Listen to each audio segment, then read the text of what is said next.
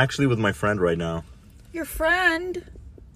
Yeah. I think we should stick with Siri. It's what I wrote on the back of all my stuff. Babe, are you stupid? You're not even on the phone.